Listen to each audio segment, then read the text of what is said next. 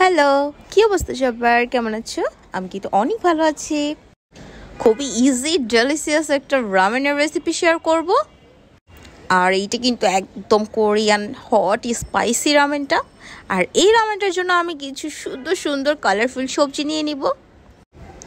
আর এই কালারফুল সবজিগুলো দিয়ে শুধুমাত্র এই রামেন না যে কোনো কিছু খেলেই কিন্তু অনেক মজা লাগবে। এখানে সসেস নিয়েছি বেবি কর্ন নিয়েছি, দুইটা কালারের ক্যাপসিকাম গাজর পেঁয়াজের কলি আর নিয়েছি মাশরুম। এই সব কালারফুল সবজিগুলোকে আমি হালকা করে ভেজে নিব আর ভেজে নেওয়ার পরে চিকেনটা ভেজে নিব। তার আগে চলো সটে করাটা একটু দেখিয়ে নিই। আর বেশি লং টাইম দেখাচ্ছি না, একটার পর একটা ভাবছি তো।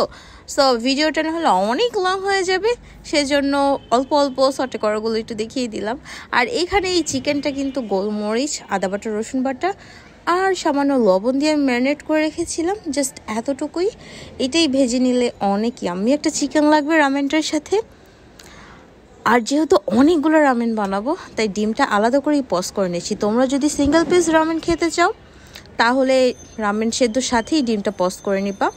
আর এই যে এখানে রামেনের প্যাকেটে দুইটা সস দিয়েছিল, একটা হচ্ছে সেসিমি আর একটা হচ্ছে এই যে টমেটো ক্যাচাপ ঝাল, নাগা টাগা মিক্স করে একটা সস ওই সসটা দিয়েই আমি রামেনটাকে সেদ্ধ করে নিয়েছি জাস্ট আর কিচ্ছু দেই নাই। সো কিছুক্ষণ সেদ্ধ করার পরেই রামেনটা রেডি হয়ে গিয়েছে, সেদ্ধটার আমি দেখালাম না। রে তো আমার ছোট পচিটার জন্য নিয়ে নিয়েছি, ওটা ঝাল ছাড়া ছিল। ওটাতে আমি সস অ্যাড করার আগেই নিয়ে নিয়েছিলাম। আর এখন আমারটা নিয়ে নিব। সবগুলো সবজির সসেসের টপিং দিয়ে বাটিটা সাজালে কত যে সুন্দর লাগে। তোমরা কিন্তু বাসা অবশ্যই ট্রাই করবা, এটা কিন্তু খুবই ডিনার লাঞ্চ ব্রেকফাস্ট যে যখন ইচ্ছা, যে টাইমে ইচ্ছা খেয়ে নিতে পারো, খুবই মজা আর খুবই হেলদি একটা ফুড আর বেশি কথা না বাড়াই, চলো দেখো আমার বাটিটা কত সুন্দর করে সাজিয়ে নিয়েছি, আর এখন আমি খেয়ে ফেলব। আমার এক্সপ্রেশন দেখে মনে হচ্ছে না, কত মজা করে খাচ্ছি, আসলে কিন্তু এটা এত মজা।